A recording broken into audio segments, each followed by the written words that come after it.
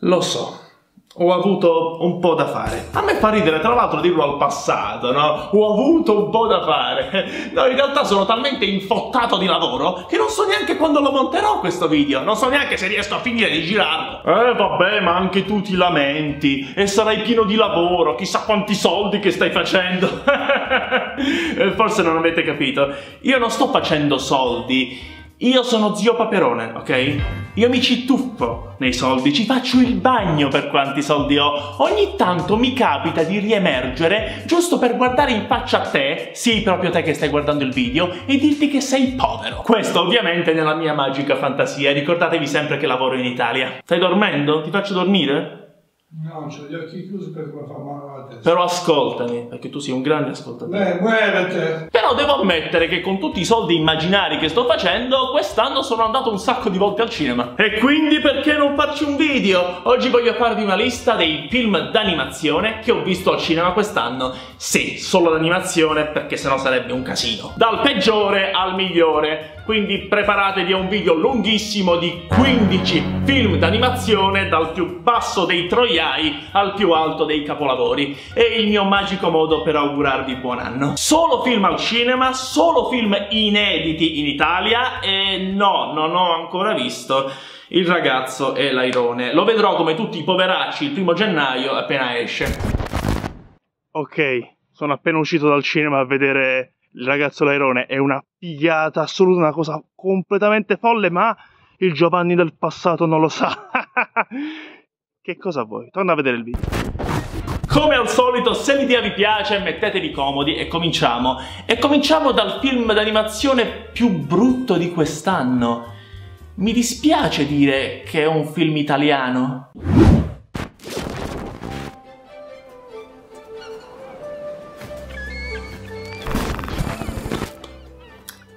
Parliamone. Io mi ricordo ancora, ero piccolo, ero alle elementari e la maestra sotto Natale portò tutta la classe a vedere la freccia azzurra. Un film d'animazione italiano diretto da Enzo Dalò. Rimasi affascinato da quel film e forse anche inconsciamente cominciai a pensare... Mm, quindi si possono fare cartoni animati in Italia.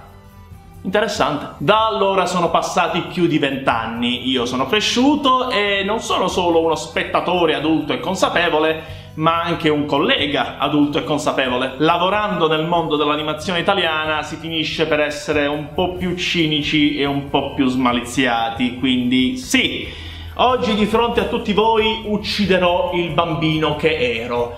Enzo Dalò è praticamente il Dario Argento dell'animazione italiana. Un regista che ha fatto cose fighissime in passato e poi se sempre meno, sempre più giù, fino al disastro. E se Enzo Dalò è Dario Argento, questo film è Dracula 3D, cioè il film più brutto che abbia mai fatto. Intendiamoci, non è soltanto brutto, perché dici vabbè è brutto, non ti è piaciuto. No, professionalmente è proprio inaccettabile portare al cinema una roba del genere. La storia è semplice, siamo in Irlanda. La protagonista è una bambina di nome Mary che sogna di entrare in una scuola di cucina perché il sogno della sua vita è diventare una grande chef. Per tutto il film la vediamo cucinare una volta e mezzo anche male, non accetta le critiche neanche quelle costruttive, tutto quello che cucinano gli altri è merda, compresa anche sua madre, beh direi che ha tutte le carte in regola per diventare una grande chef, di quelle cocainomani. Questa bambina è molto legata alla nonna che la supporta in questo suo sogno, le passa le antiche ricette irlandesi famosa per la cucina l'Irlanda e vuole che continui questa antica tradizione perché queste ricette moderne fanno schifo. Cosa sono queste cose di oggi? Queste, come si chiamano queste norme igienico-sanitarie? Che schifo! C'è un film retrogrado, passatista, una merda. Cosa succede? Che a un certo punto questa bambina incontra nella foresta una donna misteriosa, quella che nel titolo del film è Lo spirito di mezzanotte, che io vi giuro per tutto il film apparirà sempre e solo di giorno. E tutto tutto così, è tutto stupido. Chi mai sarà questa ragazza, chi non sarà mai, tanto noi l'abbiamo già capito tutti. Ah, e comunque la nonna deve morire. Ve la faccio breve così. Dal punto di vista estetico, Enzo Dalò non si è reso conto di vivere nel 2023. I personaggi sembrano usciti da un videogioco punta e clicca degli anni 90, quelli fatti con flash. Le animazioni fanno schifo, non hanno pathos, non hanno recitazione, sono morti, sono dei tronchi inutili. Io non so, non so quali colleghi abbiano lavorato a questo progetto, non è colpa vostra non è colpa vostra, lo sappiamo tutti, ci siamo passati tutti. Lavorare a un progetto brutto è svilente, è mortificante. E per tutti quelli che mi diranno, eh, ma non capisci niente, e quello è lo stile di Enzo Dalò, è così che lui disegna. Ecco, mi dispiace rovinarvi un mito, ma Enzo Dalò non disegna, non sa disegnare. È un regista, non è un animatore. Se ti piglia Enzo Dalò, ti piglia. Sì, ci sto quasi arrivando, tesoro, non ti preoccupare, tra un po' ci arrivo. E per favore smettiamola di credere che un film d'animazione va bene così solo perché è italiano. Abbiamo fatto cose incredibili anche nell'animazione e basta ancorarci a questi vecchi miti. Le uniche scene del film che si salvano sono in tutto quattro. Quattro, sono quattro sogni fatti dalla protagonista e sono realizzati in animazione tradizionale matita su carta. Sono stupendi. Oh, intendiamoci, eh, non c'entrano un cazzo con il resto del film. Hanno una qualità estetica che non è quella del film, un uso incredibile dei piani sequenza che non è la regia del film, perché se c'è una cosa che fa schifo in questo film è la regia. Enzo Dalò si è dimenticato di fare il regista. E per tutti quelli che mi diranno, eh ma cosa ti aspetti? È un film per bambini. Ecco, la mia risposta è non portate i bambini a vedere questo film se volete approfondiamo nei commenti, ma ci sono delle scene profondamente diseducative. Tra l'altro in tutto il cinema eravamo in tre. Io, un padre e suo figlio. E questo bambino per tutto il tempo, una volta ogni tanto, urlava. Ti capisco, fratello, avrei voluto urlare anch'io. E lo so, lo so che vivo e lavoro anch'io nel mondo dell'animazione italiana e probabilmente in questo video ho anche insultato qualcuno che incontrerò di persona, prima o poi sono un coglione. Però parliamoci chiaro, io non credo che qualcuno nel mio ambiente di lavoro possa vantarsi di aver fatto questo film. Anche perché dopo averlo visto al cinema, l'ho detto ai miei colleghi. E loro non mi hanno chiesto il film com'è, mi hanno chiesto come stai? Ti giuro, ti faccio vedere i messaggi, è, è, è fenomenale questa cosa. Ora, questo film meriterebbe altre 14 ore di analisi, però non posso, non posso perché ho altri 14 film da recensire e se ci ho messo così tanto a fare il primo, mi sa che siamo un po' nella merda.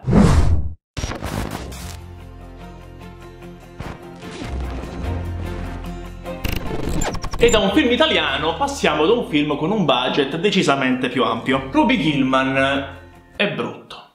E lo so, fa male anche dirlo, anche perché stiamo parlando della DreamWorks, lo studio di animazione che ci ha regalato delle perle incredibili con Fu Panda, Dragon Trainer, La strada per il Dorado e ricordatevi sempre tutti che Shrek è amore, Shrek è vita. Lo stesso gruppo di pazzi sclerati che l'anno scorso, non mille anni fa, ok, l'anno scorso, ci ha regalato perle incredibili come Troppo Cattivi e soprattutto Il gatto con gli stivali 2. Ma la DreamWorks ha questo problemino, è una casa molto discontinua.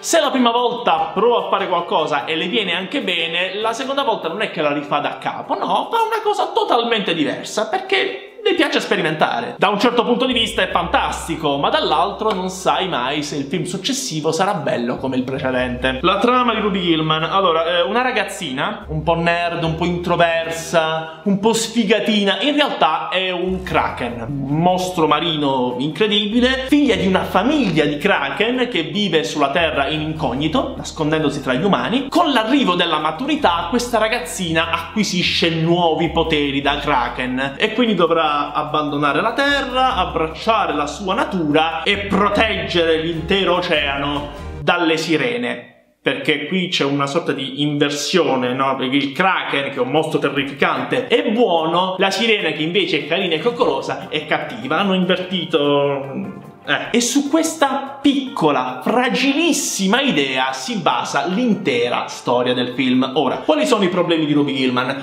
Innanzitutto, se avete visto il trailer del film, avete visto il film. Tutto. Cioè, a, parte il finale, ma come pensate che finisca un film del genere? Il fatto è che questo film, dopo aver giocato sull'inversione buono-cattivo, sirena, kraken, non sa più dove andare a parare. E la chiamo inversione per delicatezza, ma il film non inverte proprio un cazzo. Cioè ci sono comunque buoni da una parte e cattivi dall'altra. Il fatto che siano invertiti non è che mi cambia un granché. La sirena cattiva del film è cattiva perché è una sirena. Ora, so che è brutto dirlo, ma il film è implicitamente razzista, senza volerlo, certo. Però lo è. Oh, intendiamoci, la protagonista cerca anche un po' di invertire questa logica, no? cerca anche di fare amicizia con la sirena, di capire il suo punto di vista, si instaura anche un bel rapporto.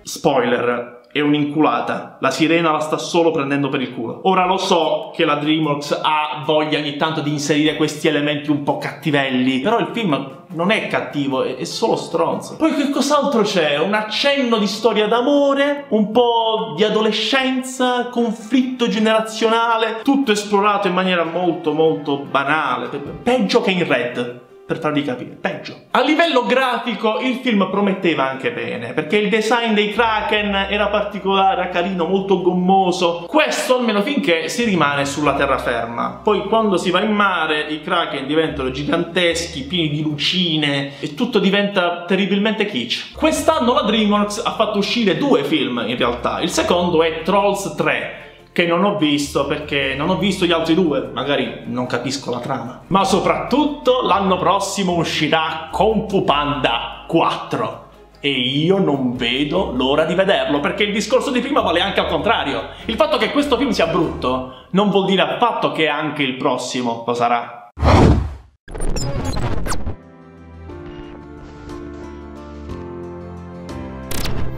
Ah, la Disney lo studio d'animazione più importante del mondo, da sempre pronto a esaudire i vostri desideri. Capito, no? Wish, desideri. No, vabbè. Ma perché parlo di desideri? Beh, non so se vi ricordate, ma circa un annetto fa la Disney ha fatto una dichiarazione molto molto importante noi smetteremo di fare film con un cattivo. Eh, ci saranno degli antagonisti, degli avversari, ma non saranno cattivi come in passato, non saranno proprio stronzi, crudeli. Noi quel tipo di cinema abbiamo smesso di farlo per sempre. Fantastico. Questa era una dichiarazione solida, importante, una presa di posizione incontrovertibile. Poi, dopo aver visto fuori dalla finestra la folla incazzata nera con torce e forconi, questa idea incontrovertibile è morta così come è nata. Ed ecco qui, il nuovo classico Disney, realizzato per i 100 anni dell'azienda. E c'è un cattivo, un cattivo vero, di quelli proprio cattivi, crudeli, stronzi, eh? è incredibile.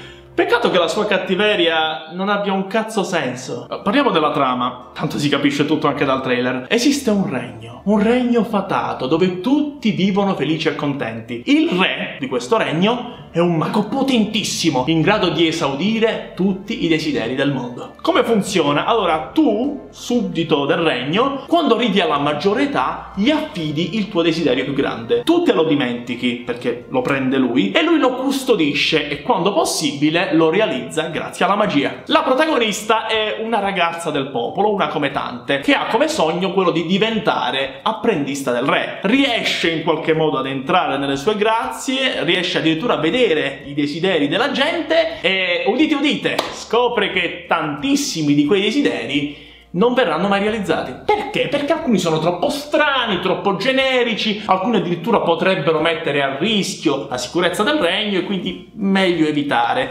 Ora, non so voi, eh, ma quando ho visto il trailer, la mia prima reazione è stata e grazie al cazzo. Ma è ovvio che non li esaudisce tutti. Un potere del genere va ragionato. Non puoi esaudire desideri a cazzo. Succede un casino. Che tra l'altro questo non è un potere che il re ha dalla nascita. No, lui è nato che era un bambino normale. La sua famiglia è stata sterminata da dei banditi che hanno distrutto anche il suo villaggio e lui per anni ha studiato la magia al solo scopo di diventare un mago e creare da zero un regno perfetto dove la tragedia che è successa a lui lui non potesse più succedere a nessun altro. Questo è il cattivo del film. Disney, il prossimo cattivo chi è? Gino Strada? Poi per carità, è comunque un uomo politico, quindi calcolatore, manipolatore, attento alle apparenze, estremamente vanitoso, d'accordo, ma da qui ad essere stronzo ce ne passa. E invece no. Diventa stronzo a metà film, con un espediente narrativo veramente di merda. E alla fine, quando perde, perché perde, cioè un cattivo in un film Disney ovviamente perde, fa una fine terrificante. Che non si merita. Siete stronzi, questo è bullismo. Re Magnifico è senza dubbio il personaggio migliore del film. È simpatico, ha carisma, fa morire da ridere, in certi momenti sembra addirittura una sorta di Ade meno riuscito, ovviamente. Oltre al fatto che è un nerd assoluto. Fa continue citazioni a vecchi cattivi Disney. Sì, lo so che è una paraculata, però a me ha fatto ridere. Tutto quello che c'è di positivo nel film finisce con il cattivo, perché la protagonista è inutile, intercambiabile con mille altre protagoniste viste finora. I suoi amici, sono tutto 5 o 6, sono il nulla, ma il nulla totale. Cioè, se io ne prendo uno, non importa, chi uno qualsiasi, te lo metto davanti, gli faccio saltare la testa a fucilate, proprio sangue e cervello dappertutto, tu andresti avanti che è una meraviglia, non te ne frega un cazzo. Poi la capra, Santi Dio la capra, c'è una capra che parla, dice delle puttanate allucinanti, la odi per tutto il tempo. Qualcuno potrebbe dire che è colpa del doppiaggio italiano, e può essere, perché...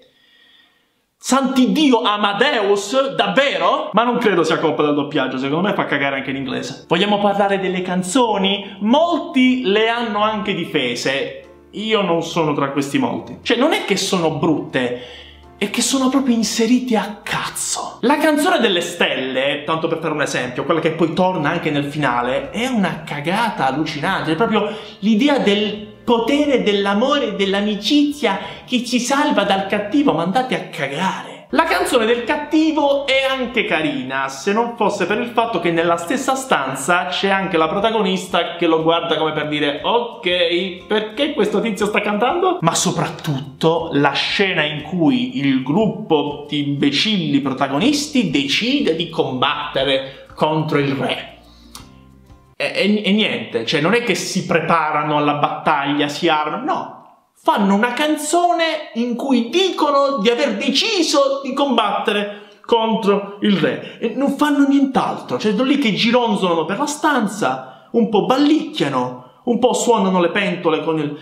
Disney, la potevi togliere quella scena di merda? Concludiamo parlando dell'aspetto grafico e mi limiterò a dire che non è niente di che. Quest'anno ci sono stati dei film che mi hanno letteralmente buttato gli occhi fuori dalle orbite. Questo film non sorprende, non incanta, è semplicemente un film d'animazione in CGI normalissimo con un filtro disegno appiccicato sopra. Sì, lo so che non è davvero così, ma è quello che sembra. Ma la cosa che fa veramente male sono i personaggi.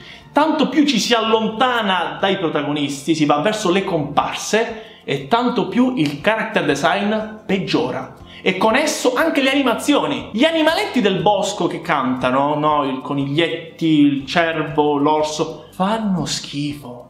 Ma brutti, sembrano venuti fuori da un brutto cartone di, di Boeing. Se posso dire qualcosa di positivo sul film è che mi aspettavo peggio, cioè intendiamoci, ho visto un film fallito, un film che ci prova e fallisce. Il mio timore è che non ci provasse nemmeno, quindi in qualche modo avete superato le mie aspettative. Però davvero siete la Disney. Da voi mi aspetto molto di più.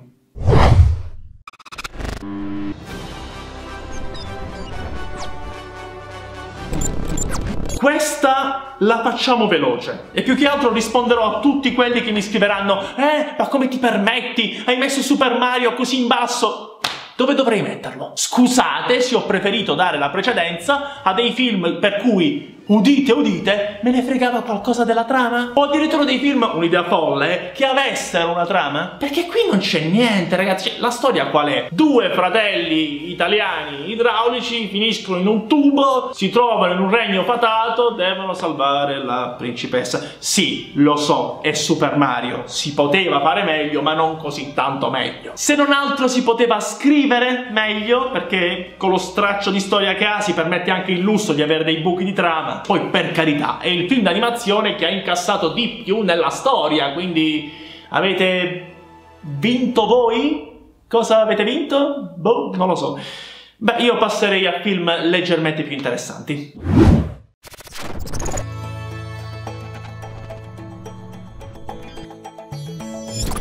Quanti film grossi quest'anno? Quanti film grossi tutti sul fondo della classifica. E adesso tocca alla Pixar, uno studio che ha fatto la storia del mondo dell'animazione, che la nostra generazione ha visto nascere e che da qualche anno a questa parte semplicemente non è più Pixar. E lo so, ci ho messo anch'io un po' di tempo per capirlo. Personalmente Luca l'ho anche apprezzato, Red l'ho tollerato, con Lightyear volevo mandare tutti a fanculo. Se vogliamo essere realistici, ormai la Pixar non esiste più. Esiste la Disney con due grandi compartimenti d'animazione, uno con le canzoni e un altro se quasi senza canzoni. Ora intendiamoci, Elemental non è un brutto film, solo che non è Pixar. La storia è quella che conosciamo tutti, c'è una città popolata da persone d'acqua, di aria, di terra e di fuoco e un ragazzo di acqua si innamora di una ragazza di fuoco. Basta. Storia classica, dinamica un po' alla Zootropolis. Ecco, quello che mi è piaciuto però è che le differenze tra i due non sono soltanto fisiche, ma anche culturali. Il ragazzo d'acqua è il tipico ragazzo americano di buona famiglia, quelli che credono fortemente nel sogno americano, che tutti i sogni si possono realizzare con l'impegno, queste puttanate da americani. Invece la ragazza viene da un contesto molto diverso, più tradizionalista, più esotico, chiaramente ispirato al mondo arabo. I problemi del film sono tre principalmente. Il primo è che il razzismo verso il popolo del fuoco, che è l'ultimo arrivato, è il più pericoloso, si vede pochissimo. Cioè si vede solo nei flashback, come se fosse una cosa del passato, ormai non c'è più. Il secondo problema è che la difficoltà dei due personaggi di toccarsi, perché sono acqua e fuoco, non è una difficoltà, cioè si risolve in 10 secondi. E il terzo problema, il più grave di tutti, è che la sceneggiatura è scritta in un modo veramente sciatto. Lo ha fatto notare anche Dario Moccia. L'evento traino della storia sono loro due che devono riparare una diga. Perché? Cioè, perché loro due sono un impiegato e una commessa? Questa città non ce l'ha degli architetti, degli ingegneri? Certo, devi un po' fermarti a pensarci a queste cose. Se non ci pensi, il film te lo puoi anche godere. E io diciamo che me lo sono anche goduto, però parliamoci chiaro, l'era della Pixar è ufficialmente finita. Il 2023 non è l'anno di Elemental. Nemmeno per scherzo.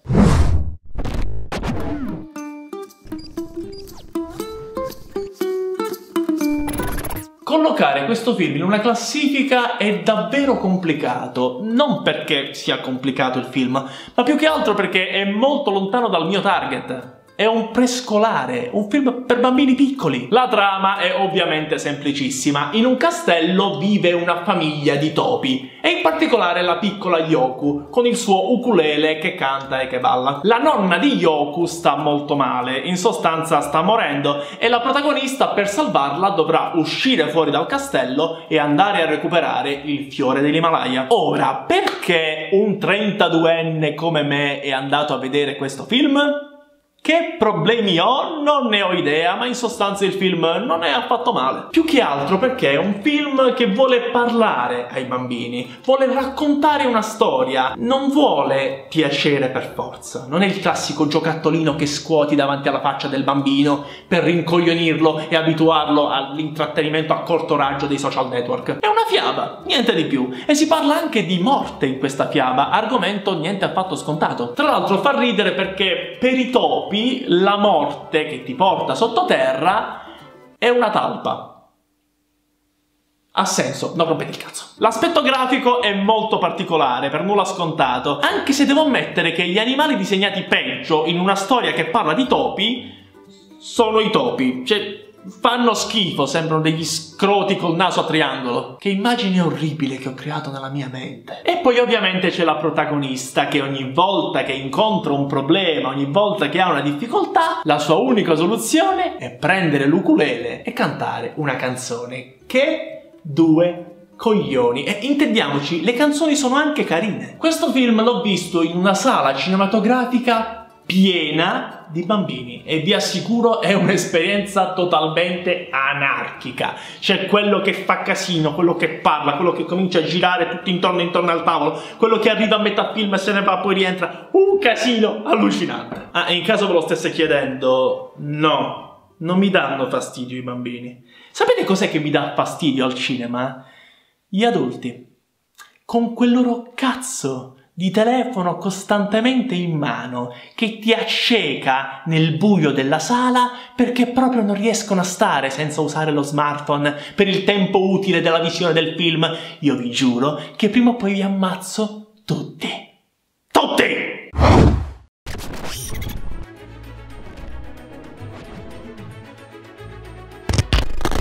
Praticamente è un misto tra i Cruz è alla ricerca di Nemo, ma con le papere.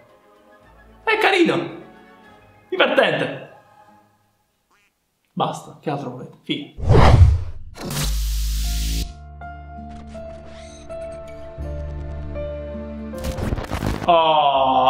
Eccolo il solito Giovanni, che in fondo ci mette tutti i film importanti, i film di Hollywood, e sopra ci mette quelli impegnati, quelli autoriali, perché vuole fare il radical chic. Forse, non lo so.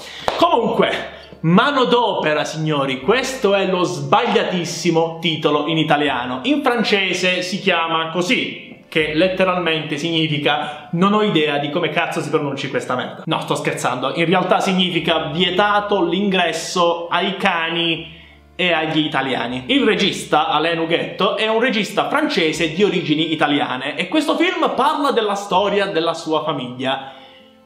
Punto. Il bello è come ne parla. È un film in stop motion e vediamo il regista, proprio le sue mani, che creano il mondo del racconto. Costruiscono le case, modellano i personaggi con la plastilina e ci interagiscono come se fossero davvero sua madre, suo padre, i suoi nonni. E questi personaggi raccontano la loro storia. La vita in montagna, la fame, la miseria, la speranza di una vita migliore in Francia, dall'altra parte delle Alpi. E una volta lì, finalmente finalmente un lavoro, una vita migliore, ma anche il razzismo, l'esperienza di essere trattati dai francesi come poco più che animali da soma. E poi ovviamente l'arrivo del fascismo, che pretendeva dal suo popolo un patriottismo incorruttibile, un legame indissolubile con l'Italia, da parte di persone che se fosse stato solo per l'Italia sarebbero morte di fame. E quindi il trasferimento definitivo in Francia, il cambio di nazionalità, la guerra, i bombardamenti e tutto il resto. Questo è un film che vi straconsiglio, è delicato e incredibilmente personale. Perché allora è così in basso nella classifica?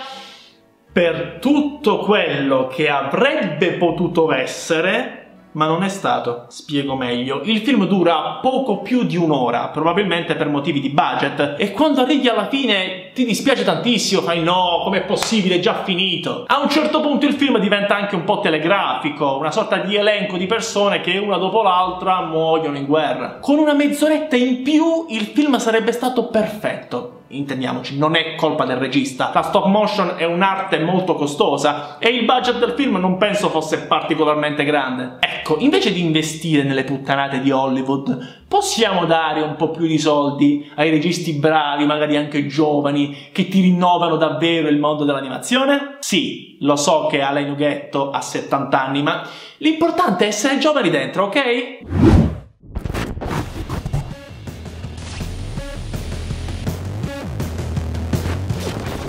Signore e signori, Kawabonga. In quanto figlio illegittimo degli anni 90, le tartarughe ninja sono state un pezzo fondamentale della mia infanzia sì, lo so, siamo cresciuti molto male. Un'idea tanto imbecille quanto geniale come delle tartarughe ninja mutanti che mangiano la pizza pretendeva al cinema un film d'animazione. Eppure i film delle tartarughe ninja sono quasi tutti dei live action, dai pupazzoni degli anni 90 alle cagate di Michael Bay. C'è stato un film d'animazione un po' di anni fa, ma preferisco non ricordarlo. Troppo serio, troppo pomposo, una trama scritta anche piuttosto male e una grafica degna della PlayStation 2. Vabbè, lo stesso regista di Dylan Dog, quindi. E poi è uscito il trailer di questo film, bagnando inesorabilmente le nostre mutandine da scolarette timide, anche scoprendo che lo sceneggiatore sarebbe stato il mitico Seth Rogen. E ve lo dico subito, il nostro affezionatissimo non ci ha deluso per nulla. La storia è una sorta di reboot. I nostri mitici Leonardo, Donatello, Raffaello e Michelangelo sono delle tartarughe ninja piuttosto giovani,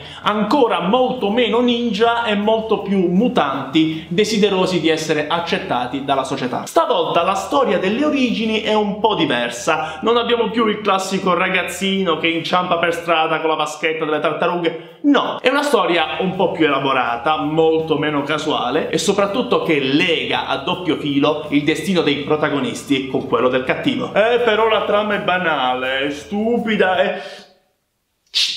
Silenzio! Stiamo parlando delle tartarughe ninja per Diana, abbandonatevi alle placide acque della cazzata che non ha alcuna intenzione di prendersi sul serio. La storia funziona. Perché funzionano i personaggi, i protagonisti, i comprimari, ma soprattutto il cattivo. Superfly è un cattivo fantastico, simpatico, molto simile ai protagonisti e con ottime ragioni per avercela col mondo. L'unica differenza è che si spinge un po' troppo oltre, alimentato dal suo odio. Ma parliamo un po' della ciccia, parliamo dello stile grafico. E io ve lo dico, se non avete visto questo film al cinema avete fatto l'errore dell'anno. Io ero lì davanti al grande schermo e impazzivo per ogni minimo dettaglio. Tutte quelle pennellate sporche per rendere l'effetto delle luci, delle texture, del fumo, delle esplosioni. Io per buoni 10 minuti quasi non ho seguito la trama, tanto ero avido di dettagli sullo schermo. Vogliamo parlare del character design? I mutanti sono uno più volutamente brutto dell'altro, sono storti, sgraziati, in natura niente dovrebbe avere quella forma e quindi è giusto che ce l'abbiano loro. E gli umani non sono da meno, non ce n'è uno bello, uno proporzionato. È un po' come se loro disprezzassero i mutanti perché sono diversi e non riuscissero a vedere dentro di loro la loro stessa diversità. Sto sovranalizzando, vero? E quindi sì, April con il suo nuovo character design funziona, è perfetta per il film. Lo so che molti l'hanno criticata, avrete meno materiale su cui farvi le pippette, ma pazienza. Paradossalmente i personaggi meno strani, più armoniosi sono proprio i protagonisti. Io avrei osato un pochino di più anche su di loro. Cos'è che non funziona del film? Beh, innanzitutto qualche passaggio di sceneggiatura. Ci sono dei voltafaccia un po' troppo semplificati semplificati, senza fare spoiler. E poi ci sono delle sottotrame lasciate volutamente in sospeso. È chiaro che questo film vuole essere il primo di una saga. Ah, eh, rimanete dopo i titoli di coda, eh, perché c'è un colpo di scena... No, in realtà è abbastanza prevedibile, però vi garantisco è una gran figata.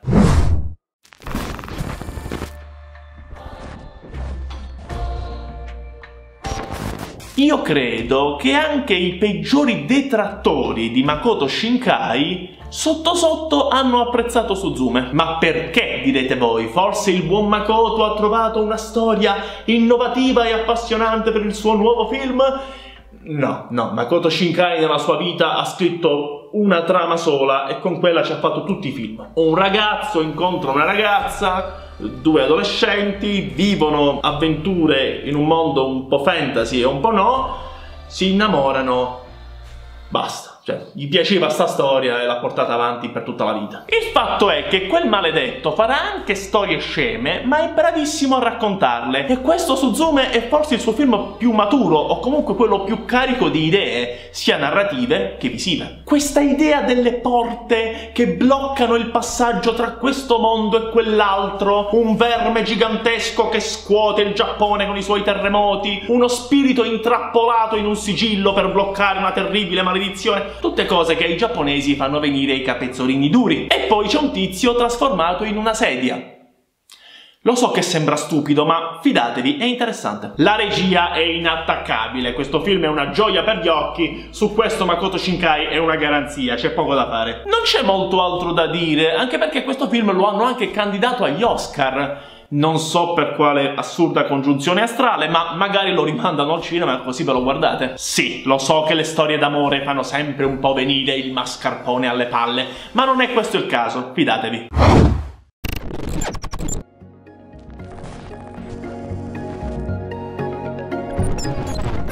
Ah, quanto è poetico vedere tutti questi film multimilionari superati di diverse lunghezze da un'opera così piccola piccola come il protagonista, d'altra parte. Proprio come manodopera, Marcel Deschelles è un film in tecnica mista, un po' in live action e un po' in stop motion. Dean è un giovane regista di documentari. Si è appena lasciato con sua moglie e ha preso una casa su Airbnb, così da stare un po' da solo a leccarsi le ferite. Il fatto è che non sarà da solo, perché in quella casa incontrerà Marcel, un pupazzetto fatto con una conchiglia, due occhietti di plastica e due scarpine da ginnastica vivo che vive in quella casa da chissà quanto tempo insieme a sua nonna un'altra conchiglia, naturalmente. Il film comincia in media res. Dean ha già conosciuto Marcel e decide di renderlo protagonista di un documentario fatto da vari video che finiranno su YouTube. Marcel si apre davanti alla telecamera, racconta un po' come ha fatto un pupazzetto così piccolo a sopravvivere in quella grande casa, tutti i complessi meccanismi di specchi e leve che si è inventato per spostarsi, per aprire le tapparelle, per procurarsi da mangiare e soprattutto racconta che un tempo aveva una famiglia e non ha idea di dove sia finita. Grazie a questi video Marcel diventa in pochissimo tempo una celebrità del web e questo sconvolge la sua vita di per sé così tranquilla. E chissà, magari grazie al passaparola su internet riusciranno finalmente a trovare la sua famiglia. Marcel è adorabile, tenero, divertente,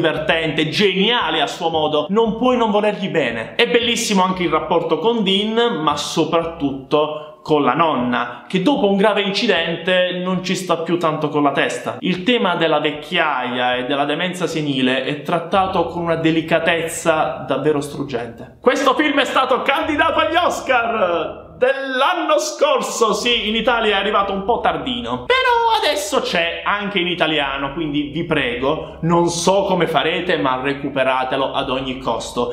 Io vi garantisco che tra qualche anno il film di Super Mario ve lo sarete completamente dimenticati, ma questo no, questo ve lo ricorderete.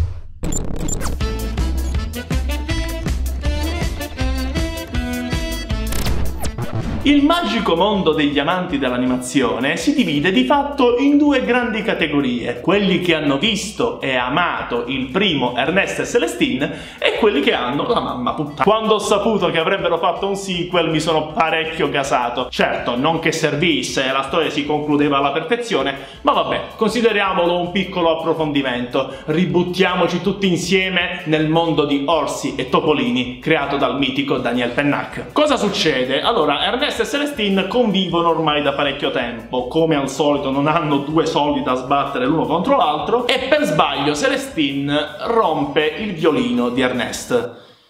Però sorella, c'è un po' di attenzione. Celestine vorrebbe farsi perdonare, ma l'unico liutaio in grado di riparare quel violino vive in Ostrogallia, cioè la patria di Ernest. E quindi via, tutti alla volta del nostro Gallia, il paese dove tutto è così perché così è sempre stato e così sempre sarà voteranno la Meloni, che cazzo ne so. E quando arrivano scoprono che nel paese tutta la musica è stata bandita per legge. Nessun tipo di concerto con più di una nota. Infatti appena arrivano c'è un concerto di pianoforte in mezzo alla piazza con tutti i tasti tolti tranne uno lievemente surreale. Pare che il motivo di questa legge sia, sì, proprio la fuga di Ernest parecchi anni prima. E quindi ancora una volta Ernest e Celestino dovranno scardinare i pregiudizi di un popolo e in particolare di determinate persone con cui Ernest dovrà confrontarsi dopo tanti anni. E poi ovviamente c'è tutta una resistenza segreta che vuole riportare la musica nel paese, una sorta di vendicatore che suona il flauto in mezzo alla piazza in barba ai gendarmi, una specie di zorro col flauto al posto della spada, scene di inseguimento incredibili e una colonna sonora da far venire i brividi. Non sto scherzando, mi è rimasta in testa per giorni e ancora oggi la riascolto. Ora, io lo so che quest'anno ci sono stati film molto più innovativi, sia nella tecnica che nella storia. Questo film non è di certo il futuro dell'animazione, ma è un'opera che non invecchierà mai. Animazioni spettacolari, una palette cromatica degna di un dipinto e personaggi uno più bello dell'altro. E i difetti di questo film? Allora, eh, per me non ce ne sono, ok? Ma l'ho visto in compagnia del caro vecchio Andrea, bravissimo ragazzo, per carità, aiuta le vecchiette ad attraversare la strada, ma è anche molto più cacacazzi di me, quindi questi sono difetti che ha notato lui. Non è ben chiaro quale sia il target di questo film, o meglio, il target è chiaro, è per bambini ma non per bambini del 2023. Ha un'estetica e un ritmo a cui i bambini di oggi non sono più abituati. Ma poi che cazzo di difetto è? Sarà un problema dei bambini, mica del film. Però vabbè, diciamo che non intercetta la generazione, ma vi ripeto, questo è un film che non invecchia, quindi intercetterà una generazione futura, che ne sai. Ed eccoci qui, signori, siamo giunti al podio e ve lo dico subito, è un podio veramente strano.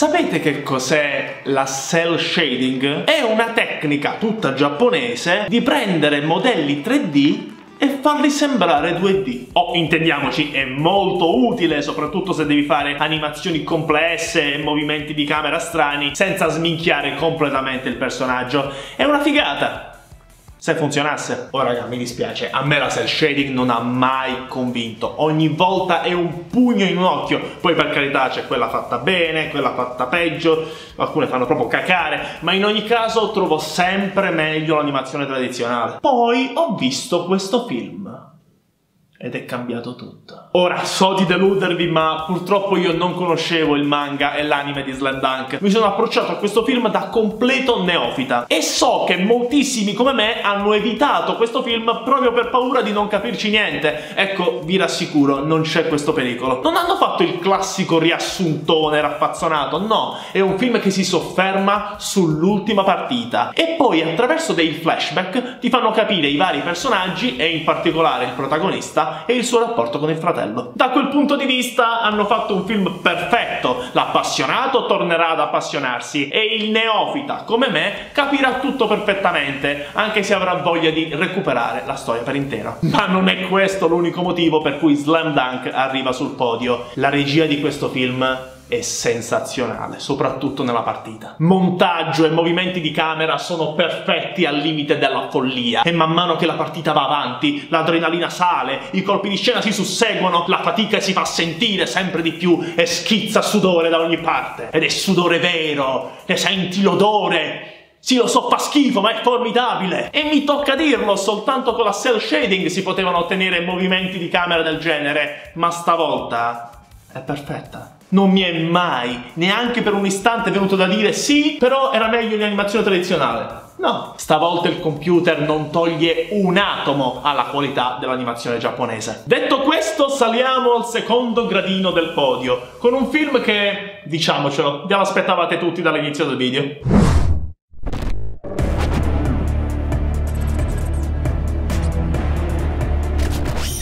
Vi ricordate cosa ho detto riguardo alla Pixar? No? Questo non è l'anno di Elemental, eh, però è l'anno di Spider-Man.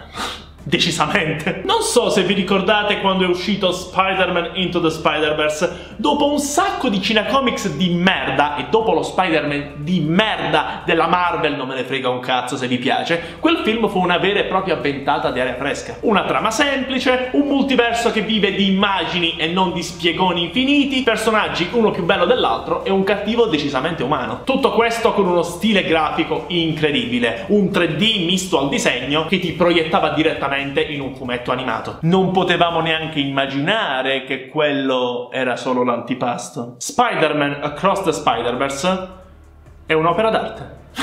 non c'è molto altro da dire. E il fatto che sia un film su Spider-Man rende tutto ancora più incredibile. Non solo perché Spider-Man è uno dei miei supereroi preferiti, ma anche perché è assurdo che una major come la Sony dia così tanta libertà artistica a un prodotto tanto commerciale.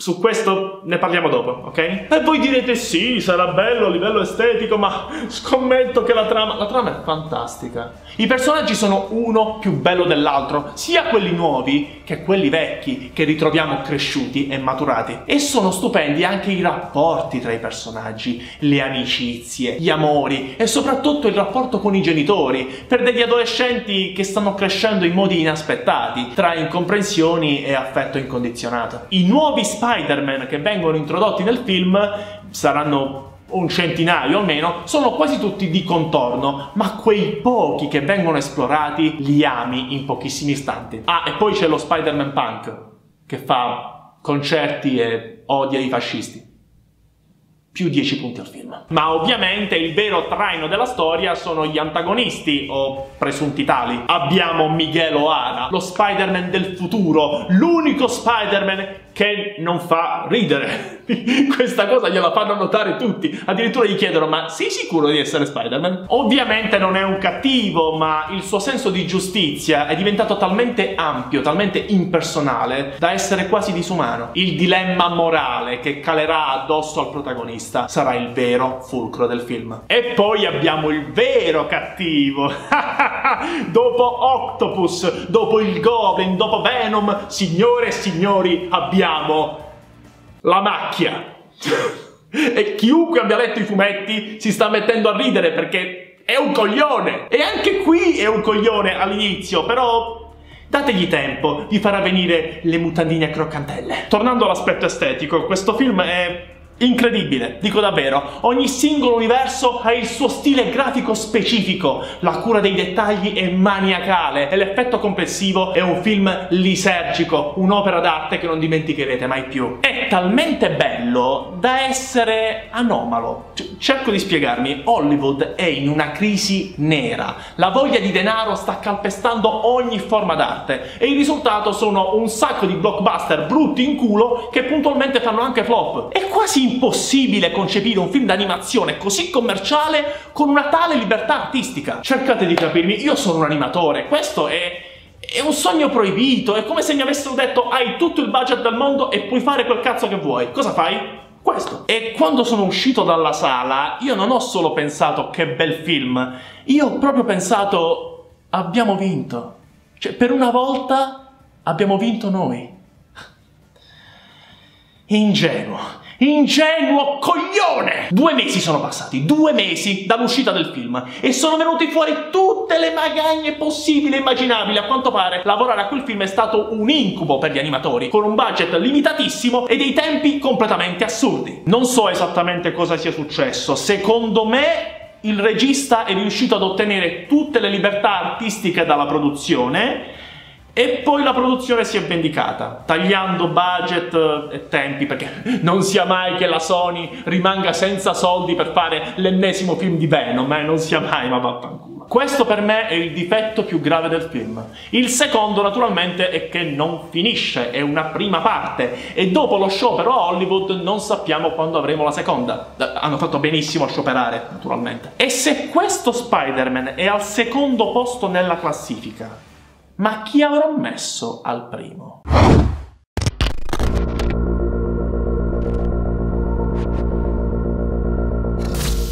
L'ho visto proiettato a un festival, quindi tecnicamente l'ho visto al cinema. Ora, mi rendo conto che in questa classifica ci sono film con una regia più interessante, con un comparto grafico meglio curato, magari film che rimarranno per tanto tempo nella storia del cinema e bla bla bla, ma porca miseria, dovete capire che io sono un po' stronzo. A me piacciono i film cattivi, quelli che fanno piangere i bambini e sconvolgono i ben pensanti. Ho conosciuto quel pazzo psicopatico di Vasquez grazie al suo precedente film, Psychonautas The Forgotten Children. Ha la malsana abitudine di creare protagonisti carini e coccolosi che affrontano problemi come depressione, droga, suicidio, omicidio, autolesionismo, fanatismo religioso. Sì, lo so che state tutti ridendo, perché state pensando a una roba tipo Happy Tree Friends. No, questa è una cosa seria, un vero pugno allo stomaco. E questo film non ha minimamente deluso le mie aspettative. Rispetto al film precedente, stavolta Vasquez ci propone una storia un po' più classica, meno frammentata. Ora, ci sarebbe talmente tanto da dire su questo film che la mia tentazione e non dirvi proprio un cazzo di niente. Anche perché gli altri film sono arrivati al cinema, hanno avuto una distribuzione chi più chi meno. Questo no. E io non voglio spoilerarvi nulla. Dovete arrivarci vergini alla visione di questo film, così come ci sono arrivato io. Ho visto la locandina, sapevo che era di Vasquez, lo dovevo vedere per forza. Dove si può recuperare? Non ne ho idea, però vi prego, Fatelo, è un'opera d'arte. Un'opera tanto folle quanto tragica, tanto surreale quanto terrificante. Il prodotto finito è un film che vi strapperà il cuore dal petto e se lo mangerà crudo. Questo video non poteva concludersi con nessun altro film. E a parte qualche eccezione, quest'anno abbiamo visto una vera e propria caduta dei giganti. Grandi produzioni che crollano e nuovi talenti che riemergono. Hollywood può decidere di stare al passo o rimanere indietro. Anche se secondo me non faranno nessuna delle due cose. Secondo me continueranno a produrre merda e a penalizzare i prodotti buoni con una pessima distribuzione, così per convincerci che non ci sono alternative. Ma sorpresa, le alternative ci sono e spetta a voi trovarle, siate migliori del pubblico che pensano che voi siate. E adesso tocca a voi nei commenti, scrivetemi un po' che film avete visto, qual è la vostra classifica e soprattutto cosa vi aspettate dall'anno prossimo. Io personalmente aspetto il ragazzo e l'airone, che vedrò il primo gennaio cascasse l'universo, eh, con Fupanda 4 naturalmente, perché anche le cazzate ci piacciono, e poi un altro film di cui non posso ancora parlare, ma magari un'altra volta.